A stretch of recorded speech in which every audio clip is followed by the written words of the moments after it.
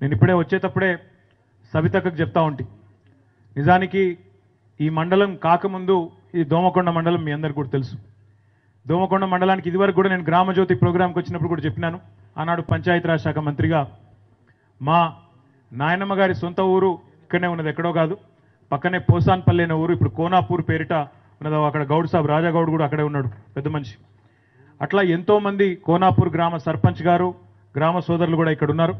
మరి సుభాష్ రెడ్డి గారి స్ఫూర్తితో మా నాయనమ్మ గారి ఊరిలో ఉన్న పాఠశాలను నేను కూడా బ్రహ్మాండంగా డెవలప్ చేయబోతా ఉన్నానని చెప్పి కూడా ఈ సందర్భంగా విజ్ఞప్తి చేస్తా ఉన్నాను ఎమ్మెల్యే గారికి వారికి కూడా నేను ఇంతకుముందే చెప్పినాను. కోనాపూర్లో ప్రాథమిక పాఠశాల ఉన్నది. ఆ ప్రాథమిక పాఠశాలని మరి సుభాష్ రెడ్డి గారు చేసినంత గొప్పగా కాపోయినా కోషిష్ చేసి సాధ్యమైనంత బాగా చేసే ప్రయత్నం చేస్తా అని చెప్పి కూడా విజ్ఞప్తి చేస్తూ ఉన్నాను మరి సుభాష్ అన్ననేమో ఇక్కడికి వచ్చిన తర్వాత శ్రీమంతుడు స్ఫూర్తితో మా అబ్బాయి చూసి చేయమన్నాడని చెప్పినాడు.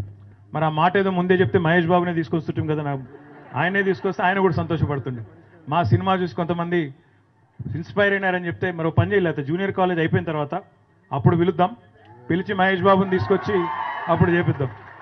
అచ్చా మీరు వచ్చింది అందుక? మా మహేష్ బాబు కేటీఆర్ అన్ననే వేరేటోరు ఎవరు కాదు. కాదు కాదు కానీ ఆయన నిజంగానే తీసుకొద్దాం. మీరు అయినాక కట్టినాక మీరు మా సబితక్క పర్మిషన్ ఇస్తా అని చెప్పింది. ఇప్పుడు మా ఇద్దరి మీద పెట్టింది కానీ కాకపోతే పర్మిషన్ ఇచ్చేసిన అని చెప్పింది.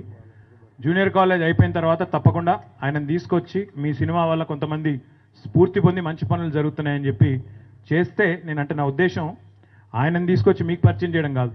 తద్వారా ఇంకొక పది మంది స్ఫూర్తి పొంది ఇంకో పది చోట్ల ఇట్లాంటి కార్యక్రమాలు జరిగితే పుట్టిన ఊరికి పుట్టిన ప్రాంతానికి రుణం తీర్చుకునే ఒక మహద్భాగ్యం ఒక అద్భుతమైన అవకాశం కొంతమందికే వస్తుంది. ఆ అవకాశాన్ని ఇతరులు కూడా తీసుకుంటారన్న ఉద్దేశంతో వారిని తీసుకొస్తా అని చెప్తా ఉన్నా. తప్పకుండా చేద్దాం. దాంతోపాటు నాకు బాగా నచ్చింది ఏంటంటే ఈరోజు ఇక్కడికి వచ్చిన తర్వాత సబితక్క వచ్చేటప్పుడు చెప్పినారు. నేనే పోయినాను అక్కడ శంకుస్థాపన కార్యక్రమానికి అన్నారు. కానీ ఇక్కడికి వచ్చేదాకా కూడా ఇంత బ్రహ్మాండమైన స్కూల్ ఉందని నేనైతే అనుకోలేదు నిజానికి కూడా.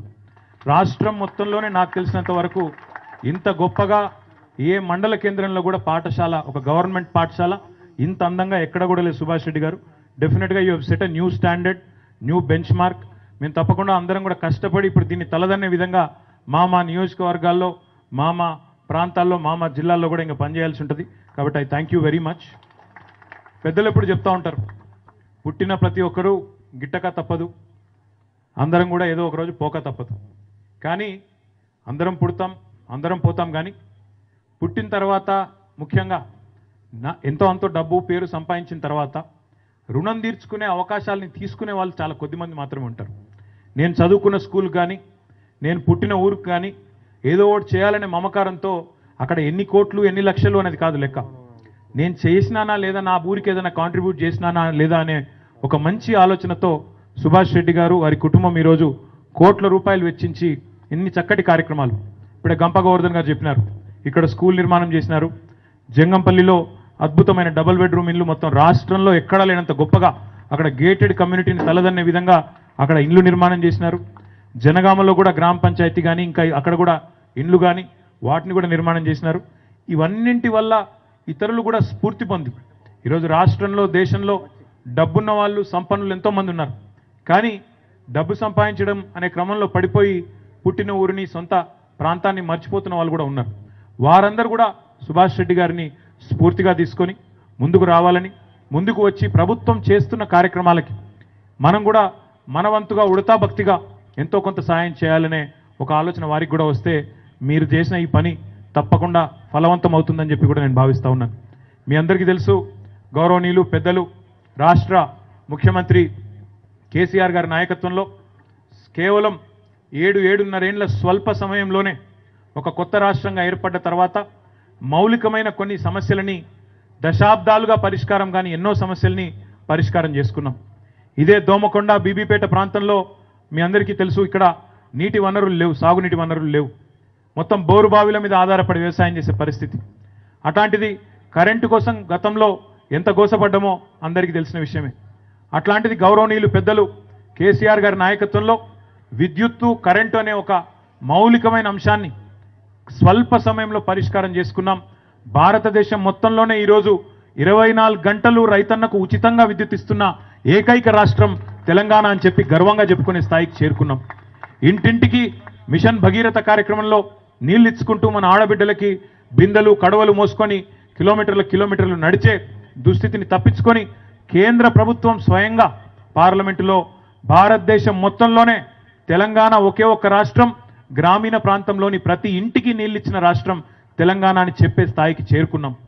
సాగునీటి విషయంలో కూడా కాళేశ్వరం ప్రాజెక్టు ద్వారా ఇంకా ఇతర ప్రాజెక్టుల ద్వారా మిషన్ కాకతీయ లాంటి అద్భుతమైన కార్యక్రమాల ద్వారా ఈరోజు వరి ధాన్యం విషయంలో భారతదేశంలోనే అగ్రభాగానికి చేరుకున్నాం. ఈ రకంగా మౌలికమైన అంశాలు సాగునీరు తాగునీరు కరెంటు ఇవన్నీ కూడా పరిష్కారం స్వల్పకాలంలో చేసుకున్నాం. ఇప్పుడు ముఖ్యమంత్రి గారి ఆలోచన అంతా విద్య మీద వైద్యం మీద ఉన్నది. ఈ రెండు సబ్జెక్టులను కూడా బాగు చేసుకున్నట్టయితే డెఫినెట్గా తెలంగాణ భారతదేశంలోనే అగ్రగామి రాష్ట్రంగా ఎదుగుతుంది. ఆ క్రమంలో మరి ఈరోజు బీబీపేట మండల కేంద్రంలో మీరు ఏదైతే ఈ స్కూల్ని ఇంత అద్భుతంగా నిర్మాణం చేసినారో ఇదే పద్ధతుల్లో శ్రీమతి సబితా ఇంద్రారెడ్డి గారి మార్గదర్శకత్వంలో గౌరవనీయులు పెద్దలు ముఖ్యమంత్రి గారి నాయకత్వంలో మరి తెలంగాణ రాష్ట్ర ప్రభుత్వం కూడా ఒక బృహత్ కార్యక్రమాన్ని తీసుకొని విద్యా సంస్థలను ఆధునీకరించే క్రమంలో మంచి కార్యక్రమంతో ముందుకు వస్తూ ఉంది. దాని ఫలితాలు కూడా. ఏ రకంగానైతే మిషన్ మోడ్లో మిషన్ కాకతీయ జరిగిందో ఏ రకంగానైతే మిషన్ మోడ్లో మిషన్ భగీరథ జరిగిందో మిషన్ మోడ్లో విద్యుత్ మరి ఇరవై నాలుగు గంటలు ఇచ్చే పరిస్థితి వచ్చిందో సాగునీటి ప్రాజెక్టులు కూడా కాలంతో పోటీ పడుతూ పరుగులు పెడుతూ పూర్తి చేస్తున్నామో విద్యని వైద్యాన్ని కూడా అదే పద్ధతుల్లో ఎందుకంటే సమస్యలన్నీ ఒకటే రోజు పరిష్కారం కావు. ఆరేడు దశాబ్దాలుగా మనకు వారసత్వంగా సంక్రమించిన సమస్యలు ఏకకాలంలో చూమంతరంటే మాయం కావు. ఒక్కొక్కటిగా ఒక్కొక్కటిగా పరిష్కారం చేసుకుంటూ వస్తూ ఉన్నాం. నెక్స్ట్ విద్యకు వైద్యానికి పెద్దపీట వేయాలనే ఒక ఆలోచనతో ముఖ్యమంత్రి గారు ఏదైతే ఉన్నారో ఆ ఆలోచనల్లో రాజకీయాలకు అతీతంగా అందరం కూడా కలిసి పాల్గొందాం.